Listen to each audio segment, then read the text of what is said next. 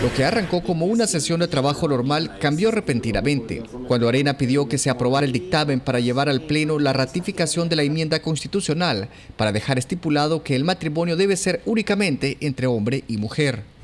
Porque todavía nosotros somos la barrera de la moral en estos pueblos que se están defendiendo. Los salvadoreños que creemos en el matrimonio como Dios lo ha instituido. A pocos días de celebrarse las elecciones presidenciales, el tema fue introducido y respaldado por los partidos de derecha, quienes trataron de generar un debate.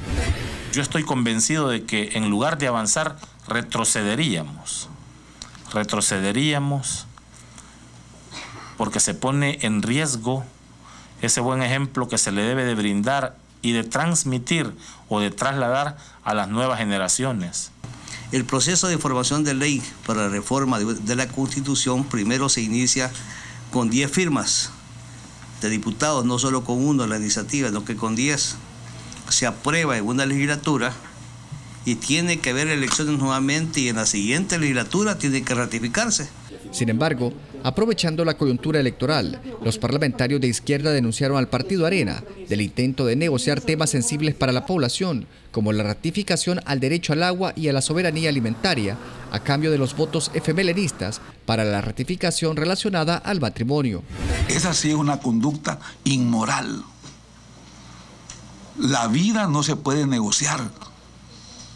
Cuando hablamos del agua estamos hablando de, la vida y cuando hablamos de la alimentación estamos hablando de la vida.